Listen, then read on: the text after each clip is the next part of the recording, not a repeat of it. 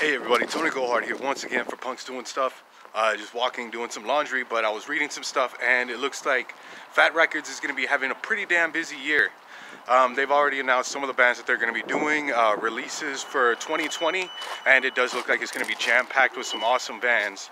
There's going to be releases from Bad Cop, Bad Cop, Bomb Pops, um, let's see what else was on there, Days N Daze, NOFX for sure, and uh, I think there was Western Addiction and uh, probably some other bands too because I'm doing this really quickly.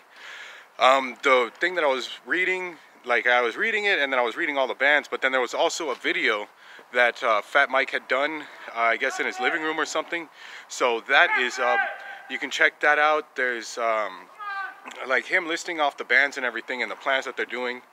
Uh, the thing, like it seems kind of like like draining, but at the same time, there's a clock right there next to him, and it says that it's 2.30, and if it's 2.30 in the AM, that means he's probably been up all night doing stuff, but then if also it is 2.30 p.m. like in the daytime, you know, that's pretty early to be recording stuff, probably just got up. At any rate, you can check that out. Uh, I'm going to put a link for the video. I'm also going to put a link to uh, the page that I was reading this. I think it was on uh, Punk News, but one of those things. So check all that stuff out. And also while you're doing that, don't forget to hit the like button, subscribe, share, all that crap. And I'll catch you on the next video.